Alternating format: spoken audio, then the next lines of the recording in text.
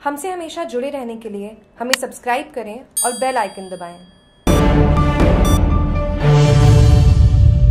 अच्छी आदत अभियान के तहत मीडिया कार्यशाला आयोजित Nagani Mamta health institute for mother and child संस्था के तत्वावधान में जापान के अंतर्राष्ट्रीय सहयोग एजेंसी द्वारा समर्थित परियोजना अच्छी आदत अभियान के तहत जिला स्तरीय मीडिया कार्यशाला एक होटल सभागार में आयोजित की गई। ममता संस्था की जिला प्रबंधक वंदना जोनवाल ने अच्छी आदत अभियान के तहत चल रही विभिन्न गतिविधियों एवं अभी तक के सफल प्रयासों से अवगत करवाया। उन्होंने कहा कि कोरोना संक्रमण का बढ़ना चिंता का विषय है। ऐसे में ज़रूरत है कि कोरोना संक्रमण से बचाव के उपायों का इस्तेमाल कर, आगामी लहर से मुक्ति पाने की दिशा में अच्छी आदत अपना कर खुद को और औरों को भी सुरक्षित करें। उन्होंने मास्क की अनिवार्यता की जानकारी देते हुए कहा कि सोशल डिस्टेंस व साफ़ सफ़ाई का खास ध्यान रखा जाना लाभदायी रहेगा। थोड़ी सी चूक स्वयं, परिवार व समाज के लिए घातक हो सकती है। इसको लेकर संबंधित वीडियो भी दिखाया गया। ममता संस्था के सहायक निदेशक प्रवीर गोयल ने नेशनल फैमिली हेल्थ सर्वे पाँच के अंतर्गत बच्चों से संबंधित विभिन्न प्रकार के स्वास्थ्य सूचकांकों की जानकारी प्रदान की।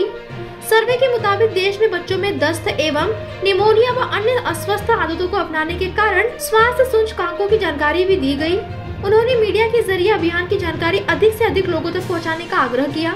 इस दौरान ममता संस्था के कार्मिक डूंगर सिंह, सुनीता बैरवा, जबरा राम, लुम्बा राम, प्रवीण कुमार, ओम प्रकाश, गणपत सिंह भी मौजूद थे। जागरूक टीवी के नागानी से महेंद्र सिंह परमार की रिपोर्ट।